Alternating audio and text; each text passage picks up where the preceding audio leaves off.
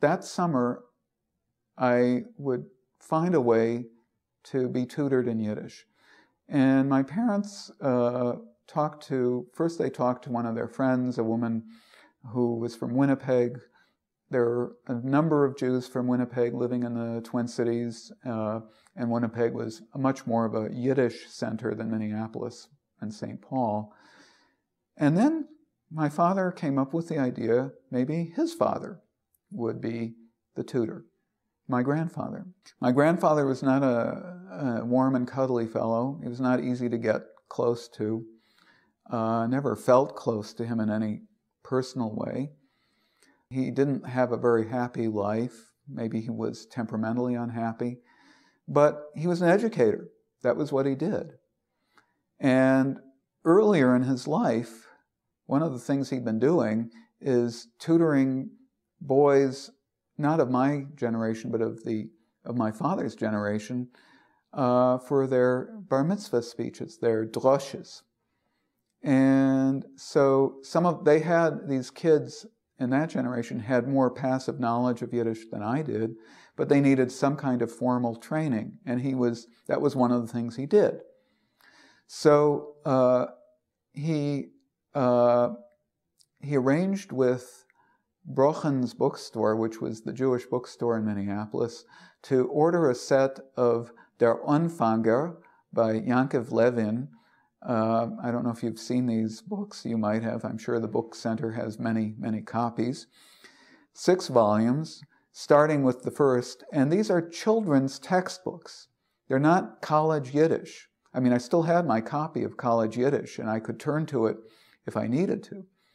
This was Perele und Semele, and uh, uh, and there was one uh, uh poem in there that was kind of like the house that Jack built, uh, or Chad Gadya, uh, where you know you go from verse to verse, building, building, and building. This was a children's book and I, I was going through it day by day with him over a period of six to eight weeks over the summer. And at the end of the summer, I don't know how, uh, but I was able to read Yiddish newspaper articles. And I think part of, I, I actually do owe to my Hebrew education the fact that I didn't have to worry about learning a new alphabet. I had that.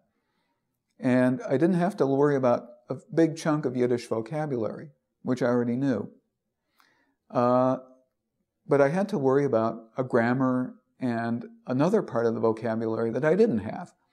And that's what I was learning with my grandfather. His newspaper was the Morgen Freiheit. He was also a leftist, even though he was uh, Klei Kodesh, uh, that is to say, he was a religious, uh, he worked in a shul, in a synagogue. Uh, but that was one of the contradictions of my of of him and of my upbringing. Um, and then that was the following summer. Over the year between that year in my junior year of college, I was reading Yiddish on my own. Uh, I graduated to short stories and to a Yiddish novel.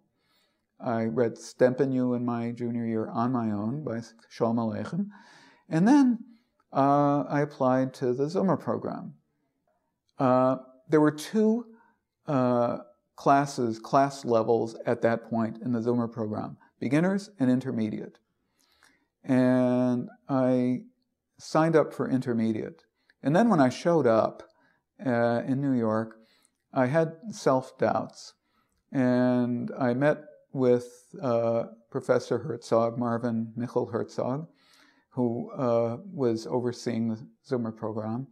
And I said, I, Do I belong in intermediate? After all, I've never had a formal course. I didn't grow up speaking the language. He said, If you wrote me a letter in Yiddish, you belong, which I did, you belong in intermediate Yiddish. And what amazed and delighted me in my first day in the class with Mordechai Schaechter speaking full sentences in Yiddish is that I understood him. And I was able, in my way, in my still very stilted way to uh, to respond and to participate in the class uh, as a full participant and not as some uh, as a uh, as a stummer uh, somebody, you know, a mute witness or bystander. So, so what I my autodidactive work and my grandfather's training had actually been successful.